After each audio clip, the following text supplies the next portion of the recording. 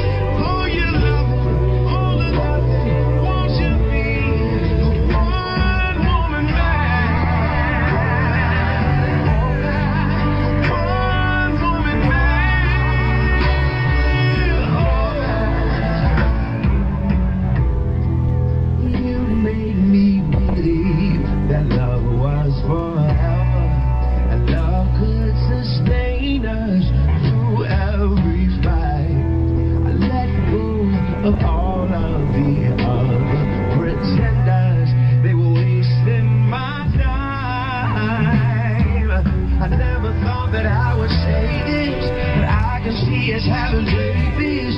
I could see it from the start